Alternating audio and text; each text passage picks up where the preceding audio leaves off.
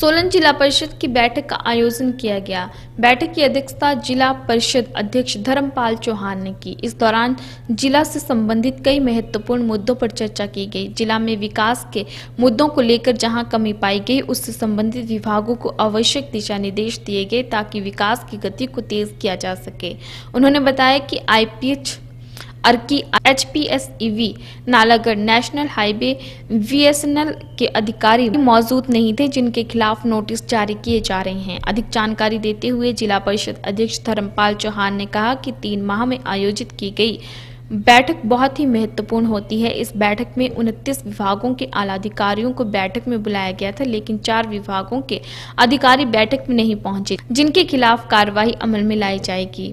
उन्होंने कहा कि विभाग के अधिकारियों के न आने की वजह से विकासात्मक कार्यों पर चर्चा नहीं हो पाई और जो जनप्रतिनिधियों के प्रश्न थे वह भी नहीं हो पाए। उन्होंने कहा कि विभागों के अधिकारियों से लिखित में जवाब मांगा गया है।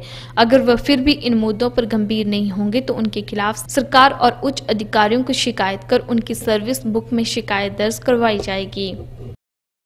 इस त्रैमासिक बैठक का उद्देश्य लोगों के कार्य जो सुनिश्चित तरीके से हो सकें।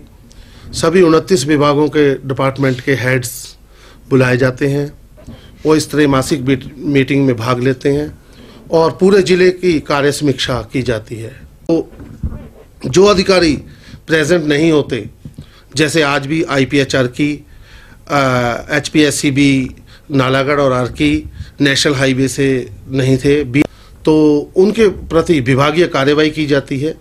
जो भी उसके विभाग हेड है, उसको लिखा जाता है। और अगर दो नोटिस के बाद भी कोई अधिकारी इसमें अवेल न करता है तो हम उसकी सरकार को और उसके कंसर्न जो भी अधिकारी उसके ऊपर है तो उसकी सर्विस बुक में हम जो भी कार्रवाई है, उसकी सर्विस बुक में लिखा जाता है।